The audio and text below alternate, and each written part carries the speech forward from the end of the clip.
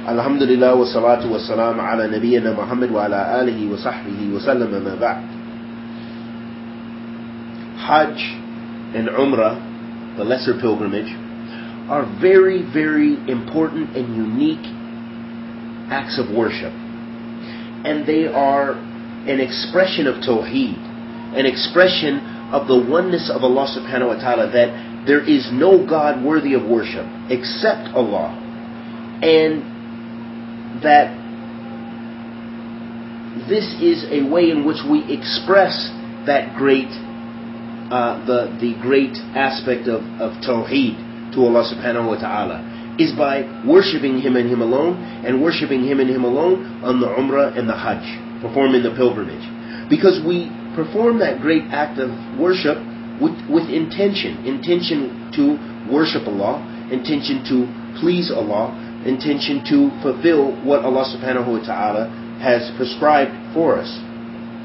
And along with that is that when we perform those acts of worship, we should do it in accordance with the sunnah of the Prophet sallallahu alaihi wasallam. And in accordance with the sunnah of the Prophet sallallahu alaihi wasallam, we also know that the Prophet sallallahu alaihi wasallam had the best of manners, the best of etiquettes, and was patient. So the one who performs these great acts should be patient during the performance of the pilgrimage. The Prophet ﷺ said, من حج لله فلم يرفض ولم يفسق رجع كيوم ولدته أمه The Prophet ﷺ said, as was narrated in Bukhari and Muslim and Nisa'i wa Ibn Majah wa Tirmidhi, he said, whoever performed Hajj and neither spoke indecently nor acted wickedly would return free from sin as on the day his mother bore him. So, doing this great act of worship, strictly for the sake of Allah subhanahu wa ta'ala, as the Prophet said in the hadith, Men lillahi. He said, whoever perform hajj for the sake of Allah, and did not speak ill, you know, did not speak indecent, no foul language, because we're tested during that great struggle, during the great pilgrimage. That you'll find people doing all kinds, you'll see people doing acts that are outside of Islam, that have no relationship with Islam, and people treating you uh, indecently, people who are striving to do an act of worship, but they have shortcomings because maybe they abuse their brothers and sisters in order to perform their act of worship. So it requires patience. This is why the Prophet ﷺ said, Whoever performs this for the sake of Allah subhanahu wa ta'ala, and neither spoke indecently, nor acted wickedly, so also you should be on your best conduct. Then what's the result? Would return free from sin as the day they were born into this world.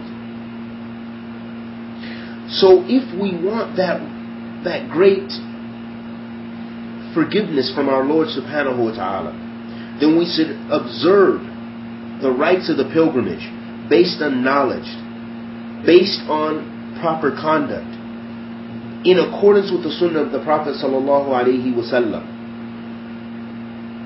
And the Prophet wasallam said, "Man yuridullahu bihi khayran yafiqahu fid din."